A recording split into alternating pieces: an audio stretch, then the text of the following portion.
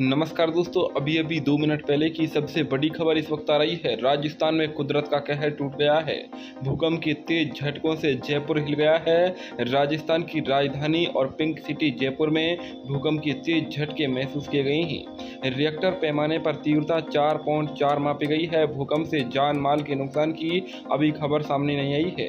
हालाँकि झटके लगातार तीन बार महसूस हुए हैं, जिसके बाद लोग घरों से बाहर की ओर भाग गए हैं। जयपुर के पास खाटू श्याम में भूकंप का केंद्र बताया जा रहा है।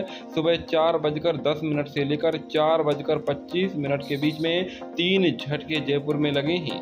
भूकंप सुबह करीब चार बजकर दस मिनट पर आया था, लेकिन पंद्रह मिनट के भीतर लगातार तीन झटके महसूस किए गए हैं। डर के मारे लोग घर से बाहर आ गए। बच्चों से लेकर महिलाओं के चेहरे पर साफ़ डर दिखा जा रहा था।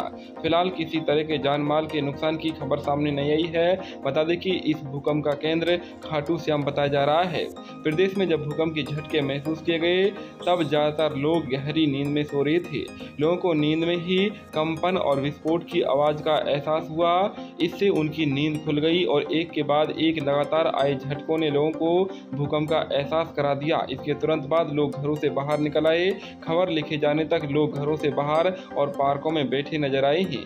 बता दें कि इसके अलावा मणिपुर के अंदर भी भूकंप आया है। यहाँ भी दोस्तों भारी भयंकर भूकंप के चलते लोग दहशत में आ गए हैं और आज राजस्थान में तूफानी बारिश का अलर्ट जारी कर दिया है।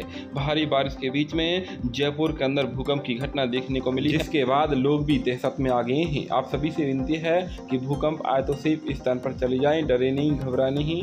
वर्तमान में आप हमारी वीडियो किस ज़िले से देख रहे हैं, वहाँ का वर्तमान मौसम कैसा है, कॉमेंट में ज़रूर लिखें, चैनल को सब्सक्राइब करें।